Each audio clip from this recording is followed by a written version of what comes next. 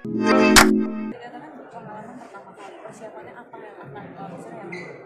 depan jujur ada persiapan yang gimana gimana ya mungkin harus lebih menyiapkan ini aja kali ya. Katanya kan ada orang-orang yang bilang kalau kita ke tanah suci itu semua yang kita lakuin itu kayak bakal dibalas di sana gitu. Terus kayak pikiran-pikiran kita tuh kalau bisa jangan ada pikiran yang buruk-buruk gitu dan ingin doa ini sih satu yang aku titipin. Coba tunjukkan jodohnya siapa.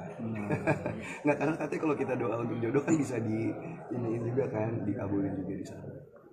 Kenapa uh, apa yang uh, kenapa lebih jodoh untuk ada target sendiri untuk mungkin menikah jenjang serius menikah gitu? Ya, akan menikah di usia berapa gitu. Enggak, karena aku rasa mungkin selama ini kan fokus aku di karir ya terus juga di pencapaian-pencapaian pribadi gitu lah. Kalau untuk pasangan aku nggak terlalu pusingin karena aku rasa ah masih banyak waktu gitu. Cuman kayaknya makin lama makin ke sini ah teman-teman semua udah pada nikah gitu udah pada punya anak bahkan anak kedua anak ketiga dan ya kepingin settle aja sih. Ya itu kan cita-cita semua orang ya. Cuman aku rasa kalau emang eh, belum diberikan jodoh yang terbaik atau belum waktunya ya nggak apa-apa. Tapi kan nggak ada salahnya kita mencari juga dan berdoa kan. Kriteria wanita seperti apa sih? Kayak gimana Ro? yang pengen?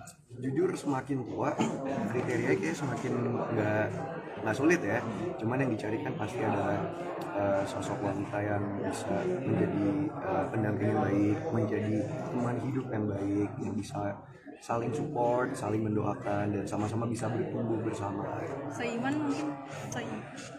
Insya Allah yang saya apakah dari kalangan eh, hiburan atau politik? Enggak lah, lah, harus dari kalangan mana pun. Ya. yang penting kayak aku bilang tadi ya, kalau untuk background untuk pekerjaan itu nggak terlalu pusingin sih. Cuman yang penting yang aku bilang tadi yang bisa menjadi sahabat hidup dan teman hidup yang baik merasa Bicara nggak sih? Uh, sering dijodoh-jodohin sama ini sama itu gitu sih. Aku rasa itu salah satu ini juga kali ya eh, resiko dunia entertainment gitu. Kita dekat sama siapa dijodohin. Nanti eh, main dipasangin sama siapa dijodohin lagi. Nanti deket sama ini ada yang suka ada yang nggak suka. Cuman kembali lagi ya kalau doa yang baik-baik pasti diaminkan.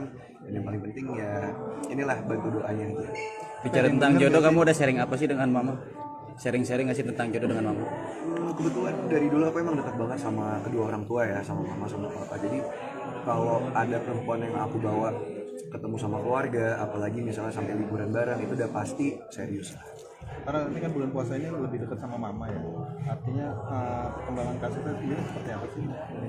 Jujur kalau untuk kasus mama udah beberapa bulan belakangan ini itu jarang kita omongin ya karena eh, kalau ketemu mama yang kita fokusin tuh ya eh, hal-hal yang happy happy aja gitu. Karena aku rasa masalah ini udah cukup menghabiskan banyak waktu dan terlalu eh, apa ya jadi konsumsi publik yang udah cukup banyak kan. Jadi aku rasa udah nggak perlu dibahas terlalu banyak lagi soal itu. Yang paling penting sekarang ya ke depannya seperti apa. Ferel terakhir ya? Kak Ferel terakhir Kak Ferel tadi kan politik tahun ini uh, fokus di politik. Apakah akan mencalonkan jadi DPRD atau DPR target uh, politik tahun di 2024 apa? ya mungkin? Kita lihat aja nanti di masa depan. Terima kasih. Belum ada